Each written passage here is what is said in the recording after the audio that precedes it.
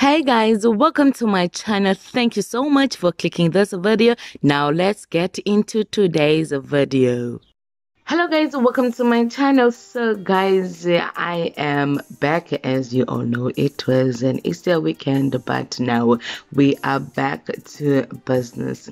So guys today i am going to talk about the real housewives of johannesburg star Christall. And right now it was reported that she is seeking legal advice after she was allegedly beaten by Brinnette and Gugu Khathi. It was reported that Christall was beaten up by the two during argument at a club in Pretoria last month. According to the eyewitness, the two ladies left the club and went to their cars to change their heels into sneakers and continue the attack. The fight had to be stopped by production staff and security guards who threatened to call the cops and Christall had to be taken to hospital for treatment.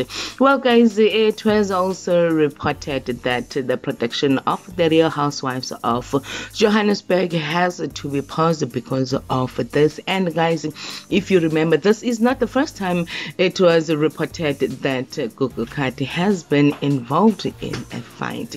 Guys, thank you for watching this video. Please make sure that you do the right thing by commenting, sharing, subscribing, liking this video, and most importantly, hit the notification bell so that that you do not miss out on anything that I am going to upload next on this channel.